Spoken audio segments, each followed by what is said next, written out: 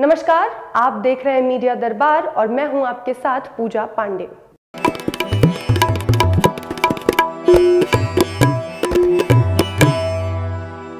केंद्र के कृषि कानूनों के खिलाफ एक महीने से ज़्यादा समय से धरना प्रदर्शन कर रहे किसानों में से तीन और किसानों की मौत हो गई है।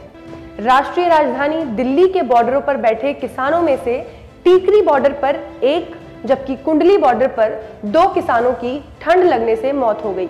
इसके अलावा नए साल के अवसर पर दिल्ली यूपी बॉर्डर पर क्रमशः एक और दो जनवरी को दो किसानों ने अपनी जान गंवा दी थी। अभी तक एक अनुमान के मुताबिक लगभग 60 किसान अपनी जान गंवा चुके हैं। किसानों की मौत का सिलसिला इस आंदोलन से काफ़ी पहले 18 सितंबर से ही शुरू हो गया था। जब मनसा ज़िले के एक 55 वर्षीय किसान प्रीतम सिंह ने पंजाब के पूर्व मुख्यमंत्री प्रकाश सिंह बादल के घर के बाहर कथित काले कानूनों के खिलाफ प्रदर्शन के दौरान कीटनाशक पीकर अपनी जान दे दी थी। इसके पहले जब से ये आंदोलन शुरू हुए हैं, तब से अब तक कई और किसानों की मौत, ठंड, दिल का दौरा, सड़क दुर्घटना और अन्य मेडिकल कारणों से हुई।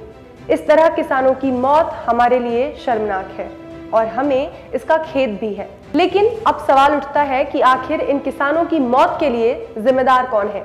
केंद्र सरकार या इस पूरे आंदोलन का संचालन करने वाले वामपंथी दल, जिन्होंने अब तक किसानों को गुमराह किया हुआ है? आंदोलन कर रहे किसान नेताओं और विपक्ष में बैठी सरकार की माने तो किसानों की रोज जाती जान के लिए देश की सरकार जिम्मेदार है। भारतीय किसान यूनियन के राष्ट्रीय प्रवक्ता चौधरी राकेश टिकैत जी ने किसानों की आत्महत्या पर संवेदना व्यक्त करते हुए कहा कि सरकार किसानों के धैर्य की परीक्षा ना ले।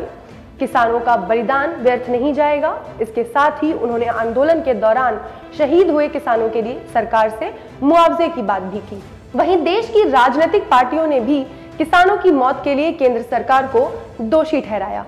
कांग्रेस अध्यक्ष सोनिया गांधी ने अपने एक वक्तव्य में कहा लोकतंत्र में जन भावनाओं की उपेक्षा करने वाली सरकारें और उनके नेता लंबे समय तक शासन नहीं कर सकते अब यह बिल्कुल साफ़ है कि मौजूदा केंद्र सरकार की थकाओ और भगाओ की नीति के सामने आंदोलनकारी धरती पुत्र किसान मजदूर घुटने टेकने वाले नहीं हैं।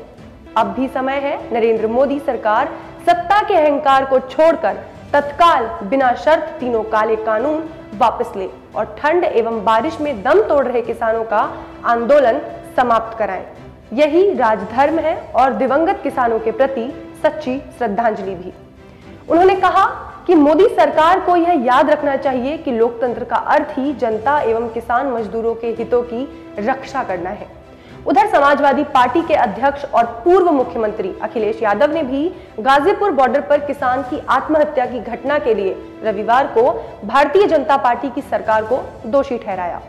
सपा अध्यक्ष अखिलेश यादव ने ट्वीट कर कहा, किसान आंदोलन में गाजीपुर बॉर्डर पर वृद्ध किसान की आत्महत्या की खबर बेहद दुखद है। श्रद्धांजलि। किसान अपने भविष्य को बचाने के लिए जान दे रहा है, लेकिन भाजपा सरकार बेतुके तर्कों व झूठे तथ्यों से काले कृषि कानून थोपना चाहती है। किसान की मृत्यु के लिए भाजपा दोषी है। अब ये तो ज़ाहिर सी बात है कि देश में कुछ भी हो तो उनके लिए राजनीतिक पार्टियाँ सत्ता पक्ष को ही जिम्मेदार ठहराती हैं। लेकिन इस तरह किसानों की मौत के पीछे क्या वाकई सरकार जिम्मेदार है? क्या इस कपकपाती ठंड और बारिश में सरकार के कहने पर किसान बैठे हैं, या फिर इसके पीछे वो लोग जिम्मेदार हैं जिन्होंने अपने स्वार्थ साधने के लिए देश के किसानों को ऐसे मौसम में भी सड़कों पर बैठने के लिए उकसाया हुआ है। आपको याद होगा जब नए नागरिकता कानून को लेकर विरोध प्रदर्शन हो रहे थे, उस समय भी उस आंदोलन के दौरान ऐसी ही खबरें सामने आई थी। शाहीन बाग में आंदोलन के दौरान तो चार महीने के मासूम बच्चे की जान चली गई थी, लेकिन फिर भी उस आंदोलन के सूत्रधारों का दिल नहीं पसीझा। और अब कुछ ऐसा ही हाल किसान आंदोलन का हो गया है। इस आंदोलन के संचालकों को किसानों की मौत से जरा भी फ़र्क नहीं पड़ता। बढ़ती ठंड और बारिश के बीच किसानों को इस कदर मरने के लिए छोड़ दिया गया है। ये वही लोग हैं जिन्होंने किसान आंदोलन में खालिस्तानी नारे लगवाए। टुकड़े टुकड़े गैंग के पोस्टर्स लगा के उनके नेताओं की आज़ादी की मांग की। ये वही लोग हैं जिन्होंने किसानों को आंदोलन जारी रखने के लिए नून लोटा प्रथा का इस्तेमाल कर कसम खिलाई। लेकिन मोटे तौर पर इन ताकतों का वैचारिक रिमोट कंट्रोल वामपंथियों के हाथों में ही है। देश ने पहले भी इस तरह का आंदोलन देखा है। उसमें भी एक खास समुदाय के लोगों को जोड़ दिया गया था और उन्हें यह कहकर डराया गया था कि उनकी नागरिकता चली जाएगी। और इस आंदोलन में भी एक खास समुदाय और एक खास क्षेत्र के लोगों को यह कहकर डराया जा रहा है कि उनकी जमीनें छीन ली जाएँगी। ये वो फॉर्मूला है जिसका इस्तेमाल वामपंथी और देश विरोधी ताकतें आज से नहीं, बल्कि देश की आज़ादी के समय से ही लगातार करती आ रही हैं। देश की हो रही आर्थिक प्रगति और दुनिया भर में भारत के नाम से इन वामपंथी विचारों को शुरू से दिक्कत रही है। जब जब देश में कोई ऐतिहासिक कदम उठाया गया है, तब तब इन वामपंथी दलों ने देश के किसी न किसी खास वर्ग को लक्षित किया है और उनके ज़रिए अपना स्वार्थ पूरा करने का सपना देखा है।